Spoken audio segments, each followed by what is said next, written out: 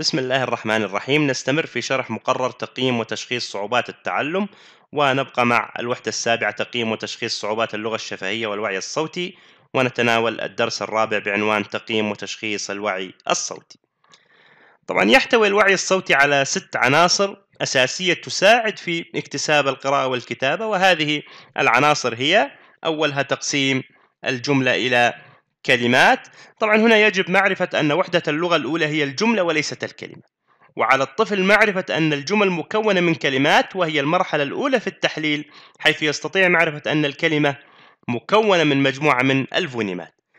ثم تقسيم الكلمات إلى مقاطع. هذا هو المستوى الثاني من التحليل اللغوي ومقدرة الطفل في مستوى رياض الأطفال على تقسيم الكلمة إلى مقاطعها يمكن استخدامه كمؤشر على الأداء القرائي في الصف الأول.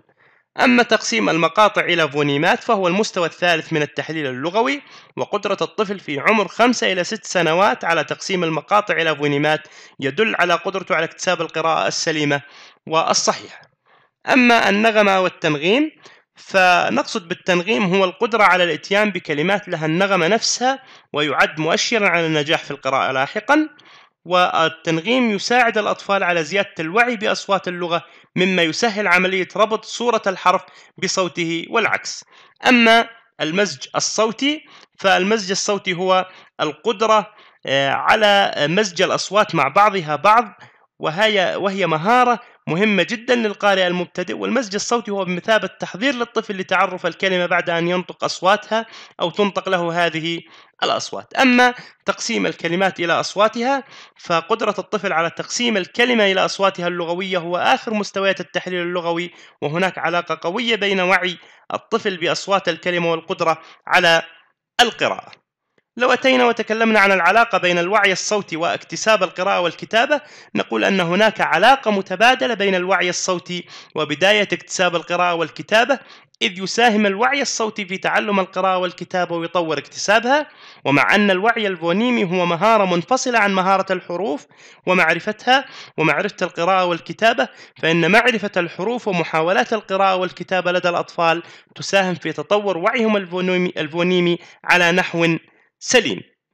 وأش يعني لو تكلمنا عن أشهر أسباب العسر القرائي آه، نقول أن صعوبة معالجة الأصوات اللغوية في لغة ما أو ما يعرف بضعف المعالجة الصوتية حيث أنه الأبحاث أشارت إلى ثلاث أنواع من المقدرة في المعالجة اللغوية الصوتية. أولها الذاكرة الصوتية ونعني بها تخزين المعلومات وتمثيلها في نظام الذاكرة على شكل صوتي لمدة قصيرة. وثانيها الاسترجاع الصوتي للمخزون الدلالي للكلمات ونعني هنا المقدرة على استرجاع الشفرة الصوتية من الذاكرة وثالثها مفهوم الوعي الصوتي ونعني به درجة حساسية الشخص للبناء الصوتي في اللغة الشفوية. وهذه القدرات الثلاث متداخلة مع بعضها البعض كما أنها تؤدي دورا مهما في اكتساب مهارة القراءة. تقييم المستوى الفونولوجي. من الجوانب الفونولوجية التي يهتم فريق التقييم باختبارها وإجراء تحليل دقيق لها ما يلي أولها الوعي الفونولوجي وهو الوعي بمحتويات الكلمة من الأصوات ثم الذاكرة الفونولوجية والذاكرة آه، اللفظية قصيرة المدى والمعالجة الفونولوجية للأصوات والمقاطع اللفظية والكلمات وأيضا القدرة على تحديد تتابع تسلسل الأصوات اللغوية في الكلمات وأخيرا التمييز السمعي بين الأصوات. اللغوية. لو انتقلنا الآن لنتحدث عن اختبار الوعي الصوتي آه، بعنوان هو القدرة على إدراك القافية والجناس الاستهلالي الآن هنالك تعليمات للفاحص. على الفاحص أولا التأكد من أن المفحوص يفهم تماما المطلوب منه آه، يعني قبل عملية إجراء الاختبار. نقول أنه تأكد من أن المفحوص يفهم أن أمامه 20 مجموعة من الصور تنقسم إلى قسمين. القسم الأول يقيس القدرة على إدراك القافية يعني تشابه نهاية الكلمات. والقسم الثاني يقيس القدرة على إدراك الجناس الاستهلالي نقصد به تشابه بدايات الكلمات. الآن تتكون كل مجموعة في القسم آه، الأول من ثلاث صور. صورتان تتفقان في أن لهما نفس القافية وتتكون كل مجموعة في القسم الثاني من ثلاث صور. صورتان تتفقان في أن لهما نفس الجناس الاستهلالي والآن المطلوب من المفحوص وضع, وضع دائرة حول الصورة المختلفة في القافية في القسم الأول والجناس الاستهلالي في القسم الثاني. الآن لو أتينا لنرى المثال على القافية آه، نقول للطالب انظر إلى مجموعة الصور الآتية يكون موجود صور طبعا وضع دائرة حول الصورة التي لا تتفق نهاية اسمها مع نهاية بقية أسماء الصور الأخرى. الآن يوجد لدي مجموعة صور كما يتضح في آه، المثال. الصورة الأولى قلم الثانية بطة الثالثة علم. الآن كلمة قلم وكلمة علم تشتركان في القافية يعني بمعنى, بمعنى أن نهايات هاتين الكلمتين متشابهتان. أما كلمة بطة فلا تتفق مع بقية الكلمات.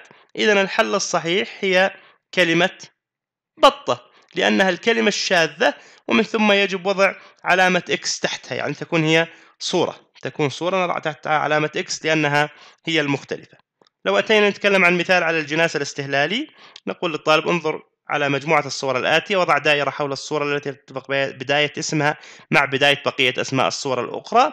الآن يكون هنالك عدد من الصور كما هو موجود. الصورة الأولى كرة والصورة الثانية حصان والصورة الثالثة إيش؟ كتاب. يعني آه، الآن لو لاحظنا كلمة آه، كرة وكتاب تشتركان في الجناس الاستهلالي بمعنى إيه؟ بمعنى أن بدايات هاتين الكلمتين متشابهتين.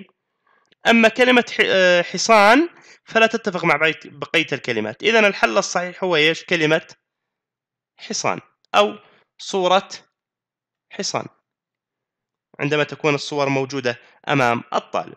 وهذه الآن يكون موجود لدي في الاختبار بعض البيانات الأساسية اسم المفحوص رباعيا المدرسة تاريخ الميلاد الصف الدراسي وتاريخ اليوم.